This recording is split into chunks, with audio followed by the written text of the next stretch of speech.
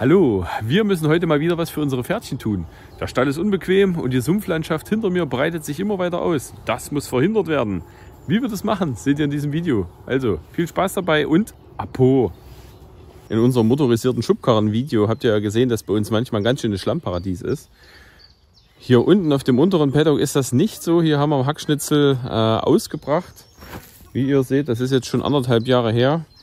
Die Hackschnitzel... Die Hackschnitzel sind jetzt schon zum großen Teil hier verrottet. Und äh, hier wird es im Winter auch ganz schön matschig. Das heißt, wir brauchen mal hier eine neue Schicht Hackschnitzel auf dem Paddock. Und glücklicherweise haben wir in unserem ersten Hof relativ viel Astgut, was wir jetzt hacken müssen. Also machen wir uns jetzt mal dahin und hacken mal diese ganzen Bäume hier zu allerfeinsten Pferdehackschnitzeln. Zuallererst haben wir mal hier unseren Holzhacker aus dem Schafunterstand rausgeholt. Das ist eine der wenigen Maschinen, die das ganze Jahr bei uns trocken steht. Naja, bis auf den Moment, in dem das Schaf drauf pinkelt, dann rostet der Hacker aber nur unten.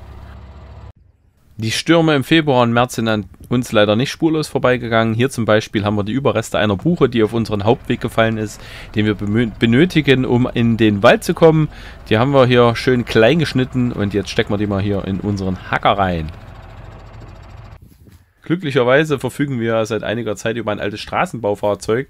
Das ist ja natürlich äh, nur artgerechte Haltung, wenn wir die Hackschnitzel da direkt mit dem Hacker reinblasen. Um die alte, spröde Plane zu schonen, lehnen wir hier noch ein paar Alubleche dran und dann geht das hier los.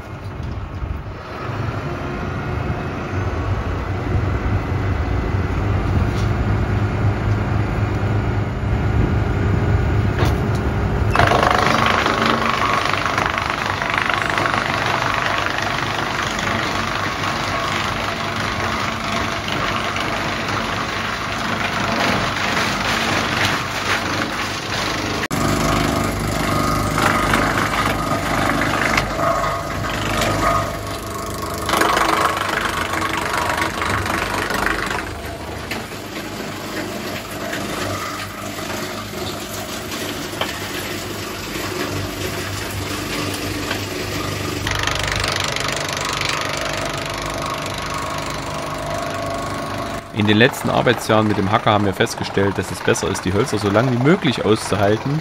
Denn erstens spart man sich Sprit für die Säge, zweitens muss man nur halb so viele Stämme einlegen, wie wenn man sie einmal zertrennt. Und drittens schlagen die nicht so rum, wenn sie vom Hacker eingezogen werden. Das schlimmste Holz, was man in den Hacker stecken kann, ist kurzes Holz. Vor dem kurzen Holz habe ich am allermeisten Respekt, weshalb ich mich ja auch hier ein bisschen komisch anstelle, dieses 2 Meter Stück in den Hacker reinzubekommen. Vor circa vier Jahren hat mir nämlich dieses Gerät hier einen zehntägigen Aufenthalt im Krankenhaus beschert. Ich hatte damals genau ein solches kurzes Buchenholzstück, zwei Meter lang, versucht in den Hacker reinzustecken, habe aber leider den Arm nicht lang genug gemacht und das Holzstück schlug mir dann beim Einziehen direkt unten ans Kinn. Das hat mich natürlich direkt überrascht, sodass der Helm nach hinten weggeflogen ist. Mein Bruder hat mich dann ins Krankenhaus gefahren und dort musste ich einen Backenzahn spenden. Den habe ich bis heute nicht wieder gekriegt. Also Holzhacker sind ganz schön hinterhältige Biester. Noch kurz was zu unserem Setup hier. Vor dem Hacker hängt hier unser Massil Ferguson 44 und noch zwei Zahlen. Der hat so um die 80 PS.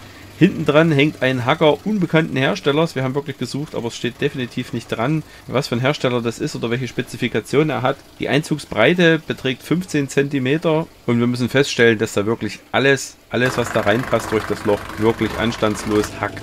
Egal ob trockenes Holz oder nasses Holz, Laubholz oder Nadelholz, der zieht einfach jeden Baumstamm, den man da reinsteckt, gnadenlos durch. An der ersten Stelle sind wir jetzt hier fertig. Unsere zwei Haufen mit den frischen Buchenessen sind weggehackt. Ich hätte nicht gedacht, dass es so viel wird. Ich dachte, es ist eher so ein bisschen, ja, vielleicht so ein, ein Kubik, so ein halber Kubik. Aber unser kleiner Transporter hier, der ist schon ganz gut voll. Viel mehr werden wir hier nicht reinmachen, weil das sonst wahrscheinlich zu viel wird. Also jetzt geht es ab an die zweite Stelle und dort arbeiten wir wieder mit den Big Bags. Um vernünftig mit den Big Bags arbeiten zu können, benötigen wir jetzt noch eine zweite Maschine mit einem Hubmast hinten dran. Diesen Hubmast haben wir vor ein paar Jahren mal äh, selber gebaut. Den haben wir von einem Tragkraft äh, Gabelstapler weggemobst. Zwischendurch wollte man den sogar noch mal verkaufen, aber zum Glück, zum Glück haben wir das nicht gemacht. Denn nichts ist besser zum Handeln von Big Bags als dieser Staplermast.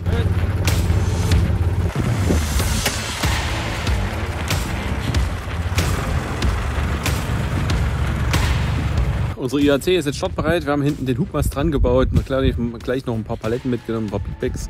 Hat sich nämlich als recht praktisch herausgestellt. Jetzt fahren wir mal hinter und bauen mal uns auf an den zweiten Haufen Hackschnitzel.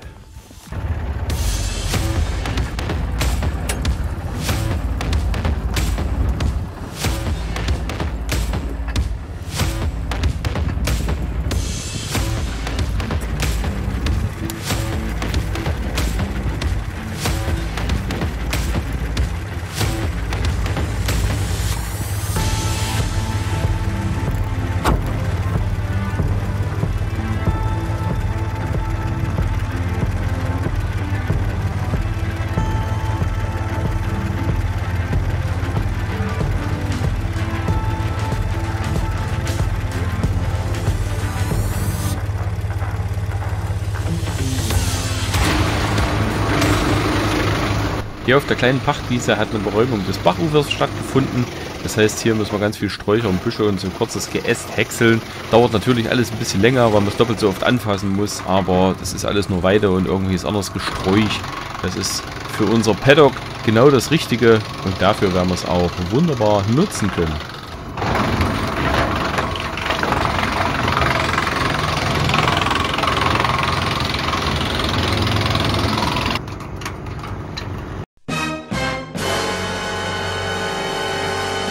Ist der Bauer reicher, fährt der Bauer Eicher. Schöne Grüße an unseren Nachbarn.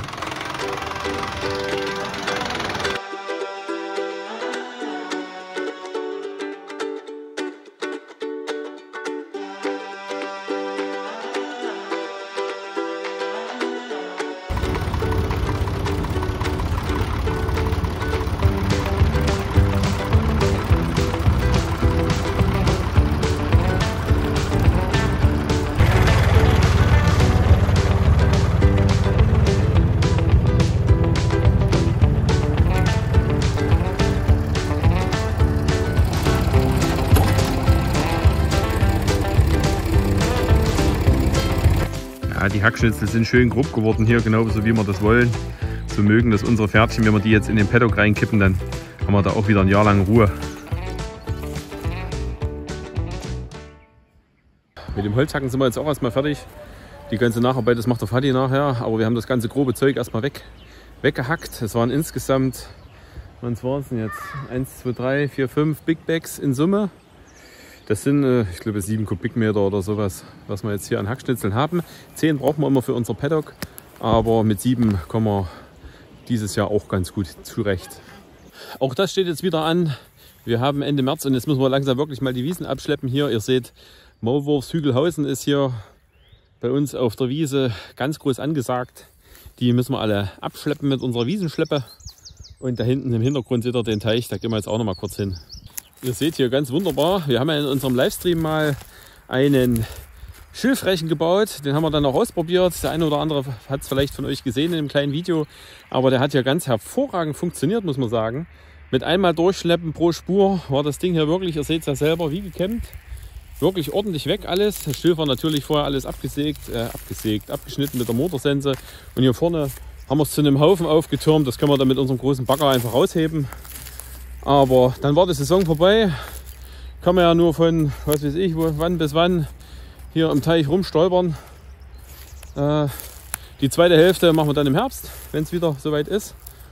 Und ja, dann müssen wir uns ja auch langsam mal hier um den Boden kümmern, dass wir den Teich mal ausschlemmen. Dafür werden wir uns natürlich auch wieder was ganz Raffiniertes bauen. Das versprechen wir euch schon mal jetzt, aber das gibt es erst im Herbst, das Teil. Und ja, eins nach dem anderen, aber es wird. Hier seht ihr auch den Zapfen, den müssen wir dann auch nochmal neu bauen. Der ist auch schon ganz schön hinüber. Und hier haben wir jetzt erstmal im Teich, den Teich trocken zu legen, so einen kleinen Graben gebastelt, gebastelt, gebuddelt, damit wir hier dann nicht in der Sumpflandschaft rumbaggern müssen. Und hier drüben seht ihr auch schon die Weiden, die wachsen hier wie verrückt. Die sind schon drei Meter hoch, die ollen Ruten. Das müssen wir alles noch wegsensen und dann abbrechen. Aber dazu, wie gesagt, mehr im Herbst. Hier hinten liegt auch noch ein kleines Nebenprojekt. Wir hatten ja gesagt, dass wir Windbruch haben. Das hier ist aus dem ersten Stück rausgeholt. Das sind um die 30 Festmeter hier. Alles 5,10 Meter lang. Alles Fichte. Ja, auch das war ein Grund dafür, dass mal die eine Woche kein Video kam. Denn solche Sachen hier muss man nebenbei ja auch noch mit erledigen hier. Das kann man sich ja nicht raussuchen beim Windbruch. Die Hackschnitzelproduktion ist jetzt erstmal abgeschlossen und jetzt wird es Zeit, das gute Zeug im Paddock und im Stall zu verteilen.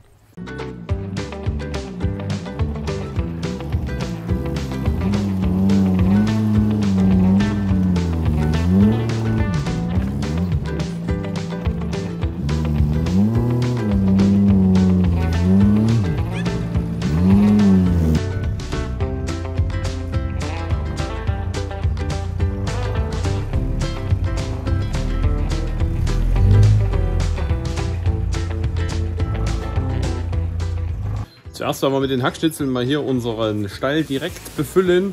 Hier, hier, versuchen wir mal eine vernünftige Liegefläche für die Pferdchen zu schaffen. Haben wir schon einige Sachen probiert, aber jetzt sind die Hackschnitzel dran. Versuchen wir mal in Mischung mit Sägespäne hier eine, wie heißt Humus? Einen Humusboden, zu eine Waldbodenschicht zu erzeugen für die Pferdchen. Äh, mal schauen, ob denen das gefällt.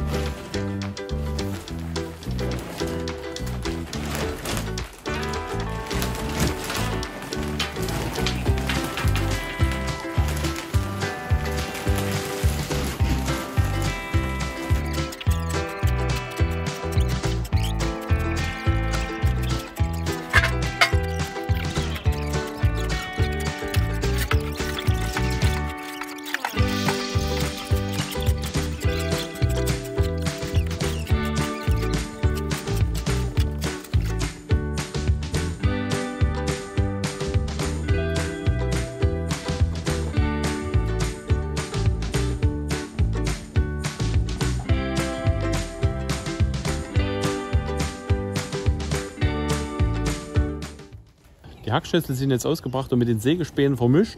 Es liegt jetzt auch schon zwei Wochen hier, muss ich sagen. Wir haben jetzt schon ein paar Mal abgeäppelt. Es geht ganz wunderbar. Es stinkt nichts, riecht nichts, ist trocken.